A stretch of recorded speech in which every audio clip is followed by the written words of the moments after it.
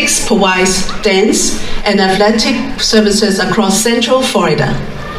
The dancers are aged 6 to 11 and train weekly classes in ballet, jazz, acro, tap, and lyrical. The competition girls trained in Lake Nona at the facility located inside of XL Sports World. Today's acts are Dance 1, Rocking Melody by Amelia Leila and Sophia. Dance 2, I Want to Try Everything by Amelia. Dance 3, The Last Guardian by Sophia. Dance 4, Always in My Heart by Layla. Dance 5, Soaring by Sophia. Take it from someone like me when your hopes despair if your desires have strings